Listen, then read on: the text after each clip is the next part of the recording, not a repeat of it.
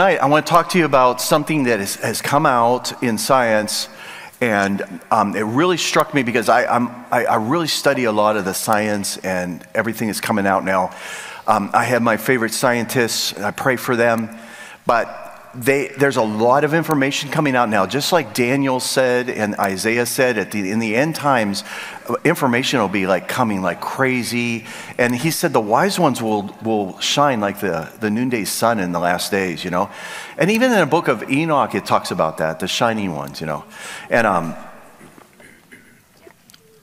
so I was listening to the, the newest stuff out there because I know that um, there are certain scientists that actually know what's really going on in the physics realm, but it's classified. So what I have to do is I have to listen to them for hours until they make a mistake and say something they shouldn't have said. And then that's when I, I take, keep track of these through, and then I can make a, the real track of what's really going on. Because they're, they even got to the place where they're calling this the God particle. And, and I want to tell you that they said, they said there's this quantum uh, mechanics and there's quantum physics that has to do with entanglement. And I go, ooh, ooh, okay. So I looked up and Einstein said, oh, that, entangle, that entanglement stuff, he goes, it's spooky. Okay, I think, okay, if, if Einstein is saying it's spooky, I want to know more. Because, I mean, who's ever heard of Einstein be, uh, being spooked? Okay, so what he said was, see, what, what happens is, is we, science is observation. And through observation, we gather data, and as a PhD, we're not allowed to come to conclusions until we have all the data and we report the data. And so you take an oath that you cannot be opinionated unless you say, This is my educated opinion or whatever. Okay, so science is supposed to just gather data. But when I find out that they're, they're holding data back, that's like lying. Okay, so when something starts to support the narrative of the Bible, they're really careful, like, well, we don't want to get religious. Well, no, you're supposed to be gathering data. So Einstein, you know, he, even the nurse that took care of him, she would talk to him about God and are you a believer? You know, and he was in the hospital, and are you a believer? Do you believe in God? He goes, Yeah, I do. He says, In fact, I'm trying to catch him at his work right now. And he's working out these formulas. And he says, I, I think I found them. Because he could see the manifestation of these, uh, these molecular structures and, and the, nu- the nuclear and the physics and all that. And it, it's interesting to me that, that when you listen to scientists, they aren't anti God at all the hypothesis of the way that we were formed as far as um, you know all, the, all the, the junk we learned i didn't come from a monkey. You know i'm not talking about that. That guy actually admitted that he was wrong on his deathbed but without cnn won't publish that so. All right so.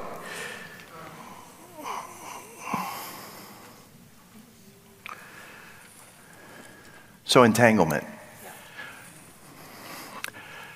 Einstein had made his formulas and he was trying to figure out how he can communicate what was really going on in the unseen based on the observed.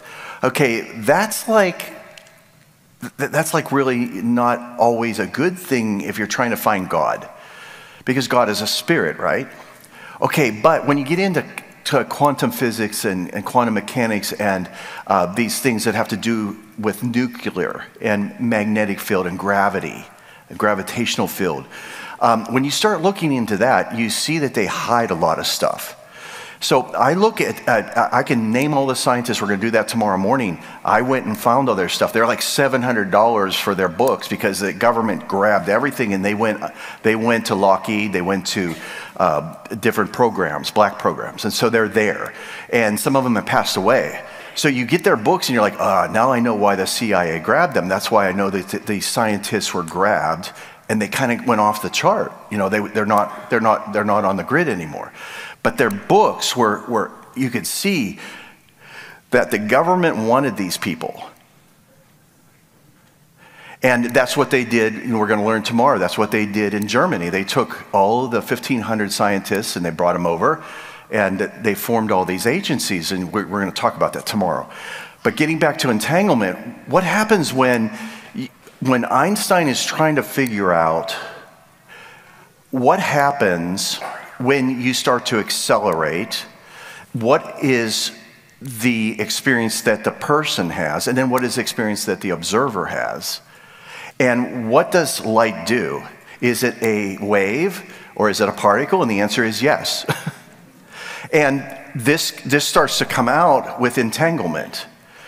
So, we, the reason I'm saying all this is because the Lord, in my chair, when I had done my 40 courses for the year, they're done.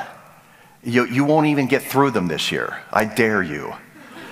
They're not even out yet. The, the ones you, you know, this is, this is like, I, so I said, okay, I'm done. He goes, no, you're not. You're going to do a course called The Entanglement of Yahweh. And I was like, yes, I am. Why? Because it felt like rocket fuel. And I thought, you know what? The church needs this. The church needs to know that God has your back and He has your front and He has everything.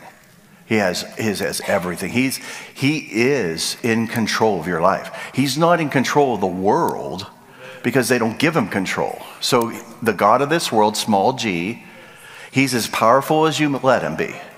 He needs slapped around. He needs to be taught a lesson. That's why if in my meetings, you know, like I have all the students up here now, but I these when, when, I, when, I, when I tell you that I have seats for witches, I am totally serious. And the more witches I can get up here, and I'm, I say, Do you need a crystal ball? You want me to buy you one? I will, I would say, Whatever you're doing back there is not working. We had so many witches in some of our meetings, I, I could tell you stuff that would just blow you away. And I said, No, come on up here. It's not working. Work, go do it right here in the front row where you're closer to me. And I'll just keep preaching, and they get saved. They come up, the demons, they say, Come up, and the demons start leaving them, and they get saved. Why? Because we need somebody to stand up and be a leader that's not afraid of the enemy. You see, the enemy is our enemy because he doesn't side with God. It's not siding with us, it's siding with God, our God, right? Our God, our God. We're his people, right? Okay, if you're entangled with him, what does that look like? Well, I believe in this generation you're going to see it, but your children are going to live it. Because what happens is, is they, you know, you know, the formula. This happened on the other side. I, I didn't, I wasn't this smart, but when I was on the other side and I came back, I had that near death experience. I understand, I understood a lot of these formulas, and I don't know how. I came back with all the wires right. I understood things that I didn't understand before simply by having this experience. There was nothing I did, there was nothing I did to deserve it. There's, I don't know, I can't tell you I didn't change my diet. Something happened in my brain. My organic brain could process things. I could look at things, build them, take them apart, make them better, and never touch them. I could look at a manual that was 1,500 pages read it and memorize it, and then go become a pilot and learn instruments. I could read the Bible and remember all the scripture verses. I don't even need my notes. Okay, so something happened to my organic brain, and what it was was I realized what this generation needs is a leader, but the leader is someone who just says, listen, we can do this together. Not somebody who's just going to be a hero and a Hollywood star, because that's not popular anymore to be a Hollywood star.